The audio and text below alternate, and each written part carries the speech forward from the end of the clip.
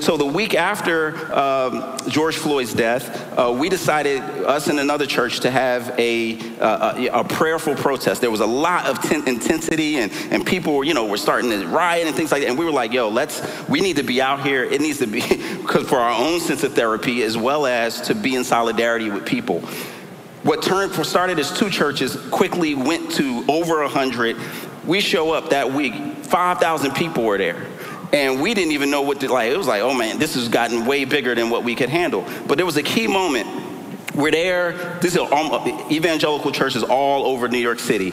And while we're about to start, we're about to go off the side street of Fifth Avenue in Brooklyn, and there's a protest that we that's coming the other way and they're coming the other way and they turn the corner and now they're a part of us. And these folks were yelling profanities they were angry and whatnot and now and now they're a part of our process. Like to another 200 300 people.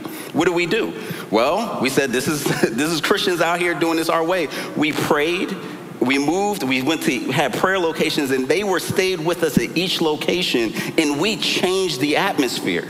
One of the problems is that the church is so concerned about who's out there in the streets, they don't re- we don't realize we have the power to change the atmosphere. Amen. So if they out there looting, guess what? Show up. Yeah. and when we show up, we can change the dynamic.